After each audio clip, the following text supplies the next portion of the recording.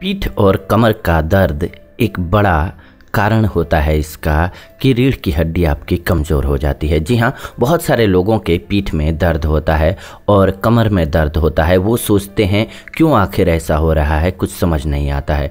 तो हमारी कई ऐसी दैनिक आदतें होती हैं जो कि रीढ़ की हड्डी को कमज़ोर बनाने का कार्य करती हैं। अगर आप इन दैनिक आदतों को समझ जाएँ तो आपका काम आसान हो जाएगा, यानी कि आप कमर दर्द से और पीठ के दर्द से बच सकते हैं, और ये जानना बेहद ज़रूरी है सभी के लिए। तो इस वीडियो में हम सभी पूर्णतः इसी बारे में जानेंगे कि आप पीठ दर्द के जो मुख्य कारण होते हैं उनसे कैसे निपटेंगे? यानी कि उनको कैसे दूर करेंगे? कारणों को पहचानें, फिर उनको दूर करें, ताकि आपको कमर दर्द और पीठ दर्द की कभी शिकायत ही ना हो। जी हाँ नमस्कार दोस्तों, स्वागत है आप सभी के अपने इस यूट्यूब चैनल जीवन जीने की कला में। आइए, आज के इस वीडियो को स्टार्ट करते हैं। जानते हैं पहला पॉइंट क्या है? सबसे पहला पॉइंट है, ज़्यादा देर तक बैठे रहना। जी हाँ लंबे समय तक एक जगह पर बैठने वालों के शरीर में ज़्यादा दबाव पड़ता है। और इसीलिए अगर आप लंबे समय तक एक ही जगह पर रहते हैं, खास करके एक पोजीशन में तो आपकी गर्दन या कमर अकड़ जाती है। घंटों बैठने से आपकी रीढ़ की हड्डी पर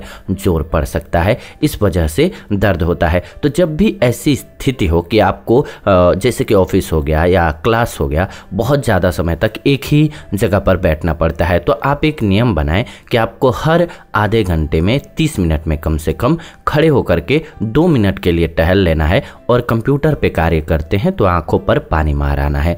इससे आपको काफ़ी ज़्यादा फ़ायदा मिलेगा जीवन में स्वस्थ रहने में, और ये नियम अपना सकते हैं आप। इसके अलावा एक पोस्चर में न बैठें। जी हाँ एक पोस्चर में बैठना भी घातक होता है तो आप थोड़ा सा पोजीशन बदलते रहें, ये बेहतर रहेगा आपके लिए। ऐसा नहीं है कि घड़ी घड़ी आपको बदलना है, लेकिन कार्य करते हुए बीच बीच में पाँच से दस मिनट एक पोजीशन में बैठे आप, फिर इसके बाद थोड़ा सा चेंज कर लिए, या पंद्रह मिनट बाद इतना सफिशियंट है, यानी कि आपके लिए बेहतर रहेगा। इसके अलावा दूसरा पॉइंट है, ज़्यादा तनाव में होना। जी हाँ।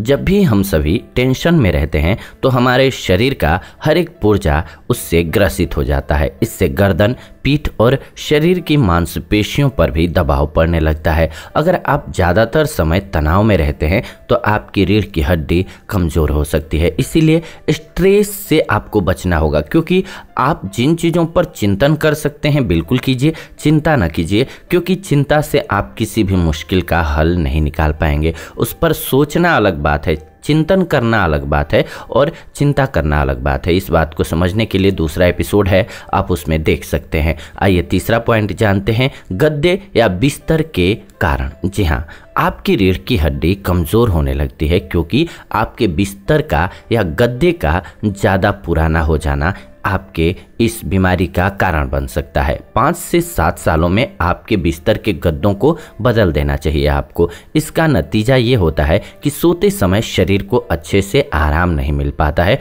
और दर्द होता है। यानी कि आपका बॉडी पोस्चर सही नहीं होगा, सही ढंग से आपकी बॉडी बिस्तर पर एडजस्ट नहीं कर पाएगी।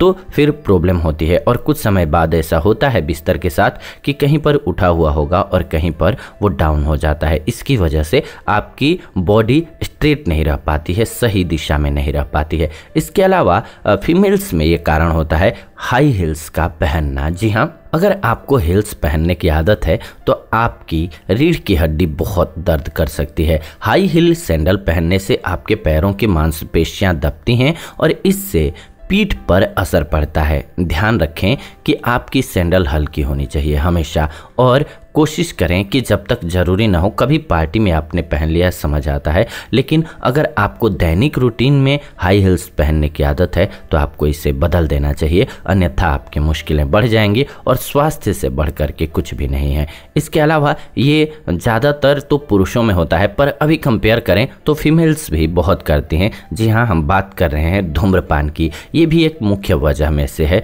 जो कि पीठ दर्द या गर्दन दर्द या कमर दर्द का कारण बन जाता है। सिगरेट पीना सेहत के लिए हानिकारक होता है यह उस पर लिखा भी होता है, आप सभी जानते भी हैं। ये बात सभी को लगभग पता है, इसे ज़्यादातर लोग फिर भी पीते हैं। सिगरेट पीने वालों में यही एक सबसे बड़ी बात होती है कि धीरे धीरे उनके रीढ़ की हड्डी कमज़ोर होने लगती है। निकोटीन रीढ़ को ऑक्सीजन के परिवहन होने से रोकता है। ऑक्सीजन न मिल पाने के कारण रीढ़ की हड्डी कमज़ोर होने लगती है और इसके बाद धीरे धीरे उम्र के साथ मुश्किलें बढ़ने लग जाती हैं। और दर्द रहने लगता है। तो क्या करना है आपको? जी हाँ ऐसी स्थिति में क्या करना है? जब आपको दर्द होने लगा है तो बॉडी का पोस्चर सही करें। बॉडी का पोस्चर सही मतलब कि सही करेक्ट पोजीशन में बैठें, सोएँ। इसके लिए इस चैनल पर दूसरे वीडियो पड़े हुए हैं। आप उसमें देख सकते हैं कि आपका सोते वक्त, खड़े होते वक्त और बैठते वक्त कैसा बॉडी पोस्चर होना चाहिए। ये बेहद इंपॉर्टेंट है। इसके अलावा जब हड्डियों में दर्द की शिकायत हो तो आप हल्दी वाले दूध का सेवन रात को ज़रूर कीजिए। इससे आपको काफ़ी ज़्यादा लाभ प्राप्त होगा। ये आज की वीडियो रही आप सभी के लिए, जो कि रीढ़ की हड्डी, गर्दन या फिर पीठ के दर्द से रिलेटेड रही। अगर इन बातों पर ध्यान रखेंगे तो आपकी ये समस्या धीरे धीरे खत्म हो जाएगी। अगर नहीं है तो भी आप ध्यान रखेंगे तो फ़ायदा ये होगा कि आपको फ्यूचर में नहीं होगी ये शिकायत। और ये बेहद ज़रूरी है कि आप पहले जान जाएँ। सबसे अच्छी बात यही है कि आप पहले से जान जाएँ और पहले से इन रूल्स को फॉलो कर लें तो आप में वो विकार आएगा ही नहीं। ये आज की वीडियो रही। ऐसी ही नॉलेजफुल वीडियो के लिए चैनल को सब्सक्राइब करके हमारे साथ जुड़ जाएँ और बेल नोटिफिकेशन को ऑन कर लें, ताकि नई वीडियोज़ आप सभी को सबसे पहले मिले। लाइक कीजिए, वीडियो पसंद आया तो शेयर कीजिए उन लोगों के साथ जिनको इसकी ज़रूरत है और कमेंट कीजिए आपके मन में कोई सेहत संबंधी सवाल हैं तो हम आने वाले दिनों में उन टॉपिक्स पर आप सभी के लिए वीडियोज़ ज़रूर बनाएँगे। फ़िलहाल, आज के इस वीडियो में इतना ही। विदा लेते हैं इस एपिसोड से, जुड़ेंगे नए एपिसोड में नई जानकारी के साथ। तब तक के लिए धन्यवाद। नमस्कार दोस्तों।